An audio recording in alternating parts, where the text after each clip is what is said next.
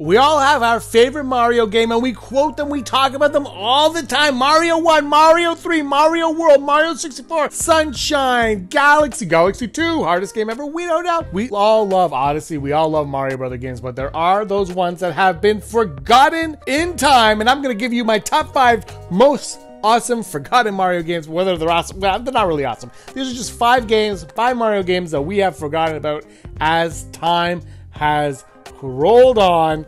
Uh, some you've probably read about. I'm going to give a shout out though. I'm not going to add some of the educational ones. Mario's Time Machine. Big shout out to Mario's Time Machine. This was an educational adventure game released for various platforms in the early 1990s where players must travel through time and solve historical puzzles to prevent Bowser from altering history Cool concept, very educational, smart move on Nintendo's part.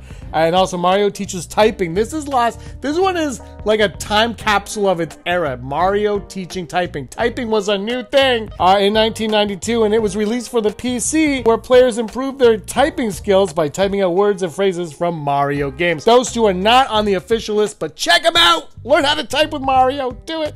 Uh, here we go. Number five. Mario Tennis, a tennis game released for the Virtual Boy in 1995, featuring Mario and Mario characters playing tennis in a 3D environment. It was all red, and if you see my previous Mario handheld sports games, you know this is my favorite, one of my favorite Mario sports games. Uh, I play. I used to play this uh, every weekend because I absolutely loved it. Number four, Mario Pinball Land, a pinball game released for the Game Boy Advance in 2004, featuring Mario as the ball and various Mario themed pinball tables. Bring it back, Nintendo! Number three, Hotel Mario.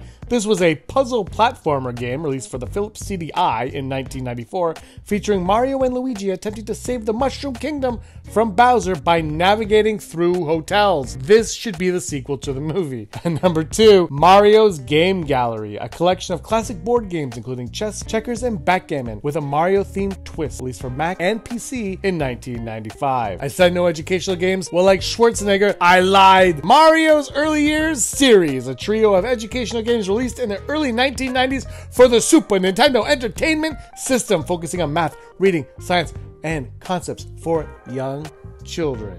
What a game this was! Very, it was very rare at the time. I remember the first time I encountered it, I believe was at a used store and it was five dollars way way back when all right everybody let me know what your forgotten mario games are in the comments down below thanks for watching give us a like and subscribe and until next time may you be the master of your own universe